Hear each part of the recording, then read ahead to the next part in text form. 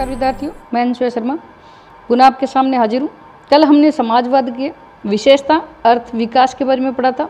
आज हम इसके गुण दोष के बारे में पढ़ेंगे।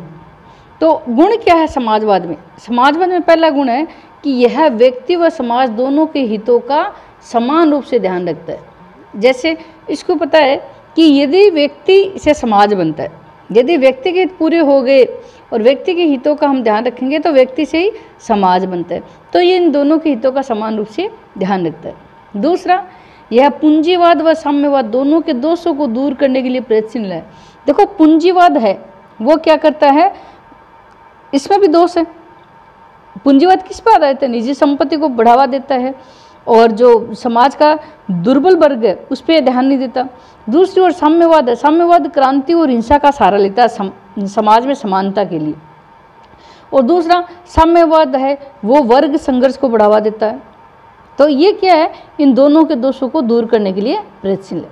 तीसरा जो इसका गुण है वो ये है कि व्यक्ति के व्यक्तित्व के विकास के लिए आर्थिक सामाजिक व नागरिक स्वतंत्रता प्रदान करता है। समाजवाद ये कहता है कि व्यक्ति के व्यक्तित्व के विकास के लिए आर्थिक, सामाजिक और नागरिक, ये तीनों स्वतंत्रताएँ व्यक्ति को प्राप्त होनी चाहिए।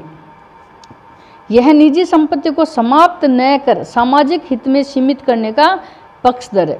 देखो, समाजवाद ये नहीं कहता कि निजी संपत्ति को समाप्त कर दो, लेकिन ये कहता है कि निजी संपत्ति को समाज के हित में सीमित रखना चाहिए। और जो जिसके पास निजी संपत्ति है, वो क्या करता है? समाज का एक ट्रस्ट बन के बनना चाहिए उस संपत्ति का और उस संपत्ति को समाज के लाभ में लगा देना चाहिए।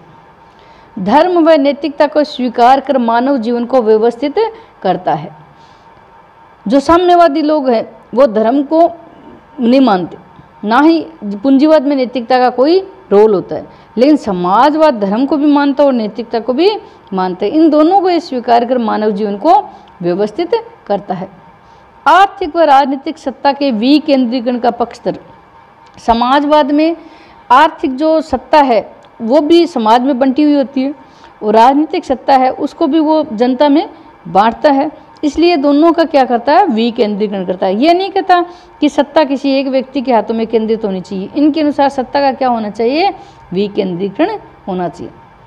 सत्ता है, वो सरकार या मतलब जो सरकार है, वो किसके प्रति उत्तरदायी होनी चाहिए? जनता द्वारा निर्वाचित संसद के प्रति उत्तरदायी होनी चाहिए। ये लोकतांत्रिक, जैसे इसका नाम ही, जनतांत्रिक समाजवाद है एक तरह से। तो जनतंत्र क्या कहता है? जनतंत्र ये कहता है कि जनता के हाथों में शक्ति होनी चाहिए। तो ये भी समाजवाद भी यही कहता है कि सत्ता है, वो जनता के के द्वारा निर्वाचित संसद के प्रति उत्तरदायी होना चाहिए। आठवां है, समानता पर आधारित सामाजिक व्यवस्था की स्थापना में सहायक। देखो, समाजवाद का मुख्य रोल क्या है? मुख्य जो आधार क्या है, वो है समानता। समाजवाद ये कहता है कि जो भी सामाजिक व्यवस्था हो, उसमें अमीर और गरीब के बीच खाई नहीं होनी चाहिए, सारे समान होने चाहिए। तो ये क्या करता है, एक ऐसी सामाजिक व्यवस्था की स्थापना करता है, जिसमें सारे समान हो। अब हम इसके दोष देखेंगे कि समाजवाद में क्या दोष है। पहला दोष ये है कि कोई स्पष्ट विचारधारा नहीं है। जैसे ये अस्पष्ट और अनिश्चित विचारधारा है। कैसे, जैसे कुछ समाजवादी तो राष्ट्रीयकरण पर बल देते हैं कि जितने भी अपने उद्योग धंधे, जितने भी अपनी शक्तियाँ उन सारों को राष्ट्र के अंतर्गत होना चाहिए। यह सारे का राष्ट्रीयकरण करना चाहते हैं। ठीक है? और कुछ कहते हैं कि इनका सामाजिकरण होना चाहिए। ये समाज के अंदर अंतर्गत होने चाहिए। कुछ कहते हैं ये सरकार के अंतर्गत होने चाहिए। तो इन दोनों में क्या थोड़ा सा अस्पष्ट नज़र आता है।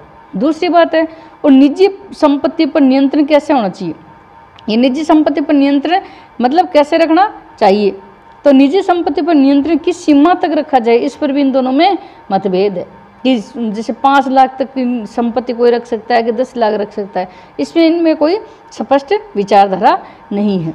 दूसरा इसका दोष ये है कि एक दूसरे के विरोधी तत्वों को स्थान, देखो, जनतंत्रता और स्वतंत्रता में विश्वास करता है, और समाजवाद, ये कहता है नियंत्रण होना चाहिए। अब जहाँ जनतंत्र है, वहाँ क्या होगी? स्वतंत्रता। जनतंत्र का अर्थ क्या है कि जनता के द्वारा निर्वाचित शासन, इसलिए स्वतंत्रता किसको मिलनी चाहिए? इसे जनता को मिलनी चाहिए। समाजवाद क्या कहता है कि उत्पादन और वितरण पर राज्य का नियंत्रण होना चाहिए। इसलिए हम ये दोनों क्या, अब देखो जनतंत्र है तो स्वतंत्रता होगी। समाजवाद है तो नियंत्रण। तो नियंत्रण और स्वतंत्रता एक दूसरे के क्या है? ये विरोधाभास है। इसलिए हम कहते हैं कि इसमें विरोधी तत्वों को स्थान दिया गया ये स्वतंत्रता भी मानता है और नियंत्रण भी मानता है। तो दोनों चीज़ एक साथ नहीं हो सकती। तीसरा है, प्राकृतिक संभावनाओं के विरुद्ध। यह विचारधारा समानता पर आधारित है। देखो, समाजवाद मुख्यतः किस पे आधारित है? समाजवाद, समानता पे। और प्रकृति की दृष्टि से सभी मनुष्य समान नहीं है। हम अपने घर में ही देख ले, अपन जितने भी भाई बहन हैं, वो सारे समान है क्या? बिल्कुल नहीं है। कोई शक्ति में बलशाली है, किसी में बुद्धि ज़्यादा है, किसी में बल ज़्यादा है। तो इन दृष्टि से मनुष्य में क्या होता है? आपस में भेद होता है। तो कोई व्यक्ति यदि अपनी योग्यता, क्षमता से अधिक संपत्ति अर्जित करता है तो उन्हें अपनी इच्छा अनुसार इसका उपभोग करने का अधिकार होना चाहिए। ये तो क्या कहते हैं कि सभी मनुष्य समान है। समान कैसे भाई? मान लो कोई व्यक्ति बेचारा दिन रात मेहनत करता है, परिश्रम करता है और इसके बाद अगर संपत्ति अर्जित करता है तो हम तो ये कहते हैं कि उनको अपनी इच्छा अनुसार उपयोग करने का अधिकार होना चाहिए। लेकिन समाजवाद क्या कहता है कि काम कोई भी करो और मिलके सारे उसका उपभोग करेंगे संपत्ति का। तो इससे क्या होता है कि जो व्यक्ति अकर्मण्य है, आलसी है, उन व्यक्तियों में उनकी संपत्ति बांट देता है। वो क्या है? उचित नहीं है। भाई, जो काम करे वो ही खाए। लेकिन इसमें तो ये है कि सारे काम करें तो कितना कोई ज़्यादा करता है, उसको भी उतना ही मिलता है। कम करता है, उसको भी उतना ही मिलता है। वो प्राकृतिक संभावनाओं के इसलिए हमें क्या लगता है? थोड़ा सा विरुद्ध लगता है। अगला है भ्रष्ट व्यवस्था को संरक्षण।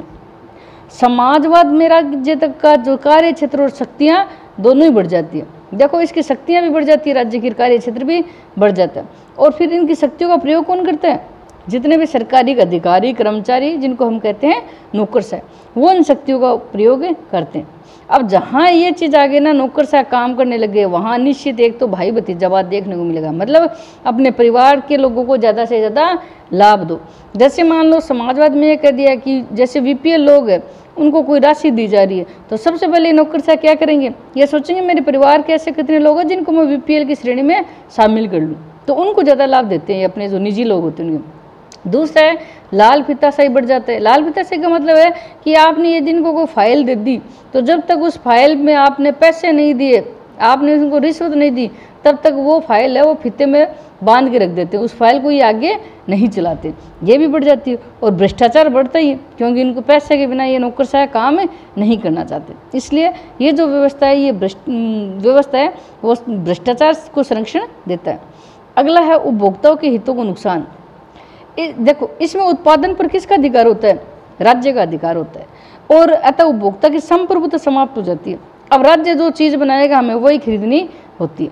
उपभोक्ताओं को अपनी आवश्यकता है, जो कुछ भी उत्पादित हो चुका उसी के अनुसार पूरी करनी होती है। अब मान लो अपने को कोई मान लो नहाने के लिए कोई साबुन या मान लो हम शैम्पू चाहिए अपने को। अब राज्य ने एक ही साबुन बनाई है, या एक ही शैम्पू बनाई है तो हमें क्या करनी है? अपनी आवश्यकता की पूर्ति उसी से करनी पड़ेगी।